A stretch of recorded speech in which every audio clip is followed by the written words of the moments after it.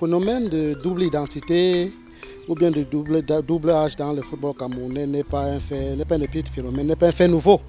Nous savons que sur 9 cas sur 10, 10 footballeurs ont, la double identité. Maintenant, le problème qui se pose, c'est le fait d'avoir mis cela euh, au, grand, au, grand, public et est-ce que la question qui se pose, est-ce que ceux qui l'ont fait ont pensé un seul instant à l'avenir de ces enfants Voilà des carrières qui ont été cassées comme ça, euh, qui ont été désormais qui sont mises entre parenthèses à cause de l'ego de, certaines personnes. Maintenant, c'est l'image du Cameroun qui est dernier, qui est salie, parce que désormais, le footballeur camerounais sera désormais étiqueté comme celui-là qui passe le temps à frôler, à frauder son âge, à changer d'identité.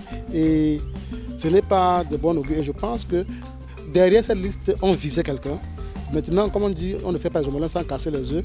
Pour vouloir tuer la carrière de Nathan Douala, on a associé avec lui 61 autres personnes. Les gens ont cru vouloir faire du mal à Samuel en, voulant faire en voulant faire cela, ils ont oublié que c'est au Cameroun qui, qui devait faire. Mais ils ont mal pris le problème. Ils ont cru qu'en mettant, fait, euh, en mettant cette liste dehors, le, Cameroun devait prendre un coup. Du coup, on devrait peindre Samuel celui-là comme le mouton noir du football camerounais qui n'a jamais réussi, en dehors de ses prouesses sur, la pelouse, sur les stades, et qu'on devait montrer celui-là qui n'a jamais rien réussi dans ce qu'il entreprend. Mais mal en a pris, le Cameroun va bien prendre part aux, aux internationales. Le Bunec a véritablement le, du plein sur la planche. Pourquoi on ne digitalise pas les actes de naissance au Cameroun? C'est aussi simple, aussi simple que ça. C'est trop, trop, léger chez nous, la papera c'est trop léger chez nous et c'est ça qui crée tout, vous, tout va, vous sortez là, vous voulez un acte de naissance, vous l'aurez en 5 minutes. Pourtant, ça ne devrait pas être le cas. On va tout le dire, et tout à son, défaut, mais il est en train de vouloir assainir, il, a, il, il est en train de vouloir assainir ce milieu. Il a touché un, un endroit qu'il ne fallait pas. Et du coup, je pense que on veut sa tête.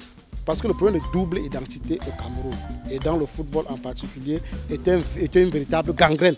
Informatiser, voilà le mot, informatiser le fichier, le fichier euh, de l'état civil, je pense que ce serait une solution louable pour permettre aux, Camerounais de ne plus ce n'est pas seulement dans le football, mais à la fonction publique. Vous venez dans un bureau, vous voyez un papa croulant là, un jeune vous dit que voilà mon petit frère.